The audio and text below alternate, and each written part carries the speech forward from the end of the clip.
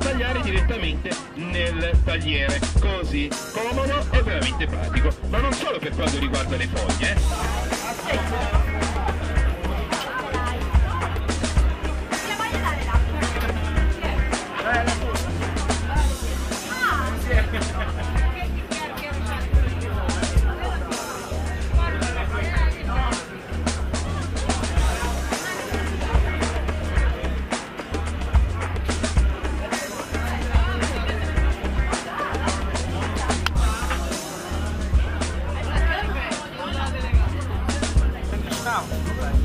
We are in Piedmont. We are in the northwest of Italy. We are the, we are in uh, Monferrato area, really close to Asti, in the north of Asti, and uh, uh, we are in the, the, close to the village of Scurzolengo, because Cantine Sant'Agata come from uh, the Saint Agata, that for us in our region is the protector of the water.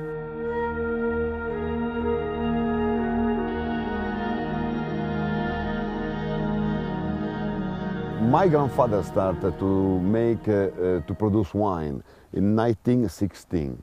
And uh, we are the, third, I and my brother, Claudio, we are the third generation in uh, the wine business. We produce wine from a really long time. Today we, we have uh, 18 hectares around my, my winery and uh, we sell 85% in our, of turnover is made in the foreign market. We sold the wine in, uh, in Poland, of course, in the United States, in Switzerland, in China, in all the Europe, and uh, also in Japan.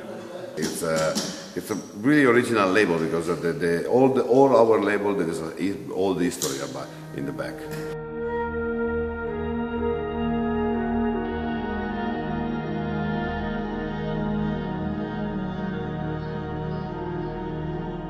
And I and my brother, we changed our style. And today we, we, we have a good technology, we have a, we have a good vineyard, really, that, this is really important for the, for the wine. And we have a good, really good position and we mm, pay a lot of attention about uh, the, the, the, our, our production. In the front of us there is a lot of uh, our vineyard, there is uh, more than uh, six hectares of uh, that uh, is uh, for us is uh, our most important grape. the Ruchè is a really old indigenous grape from the area. You, we, we make just Barbera, and this is the most popular grape in the region of Piedmont. We started for the first to plant uh, to plant again Ruchè, and uh, the, to, we believe that the grape is a really uh, actual grape because it's it's a really easy to drink, no oak aged, and uh, really spiced and flavored wine.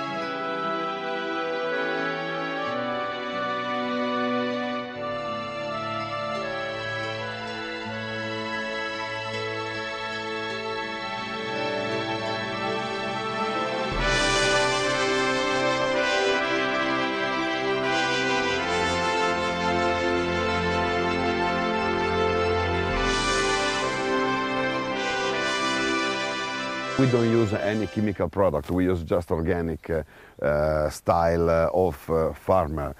And we use sulfur, we use uh, uh, the, the sulfato di rame, and, and, and, and, stop.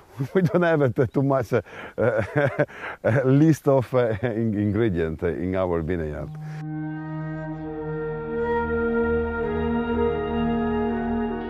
And we, we use a lot of hand my father, my mother, we, uh, all, the, all, the, all our family work in the vineyard and uh, we have some employed that, that uh, help, help us to, to grow on the grape. And it's really important uh, to, to have a good feeling with the grape uh, during the year, not only in the harvest.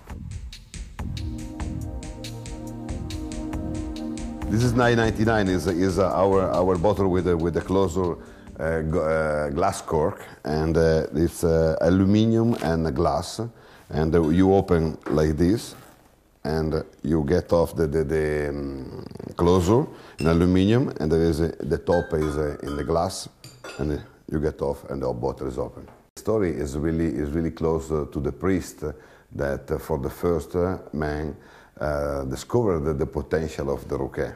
He, he find in the churchland some line of Ruchè.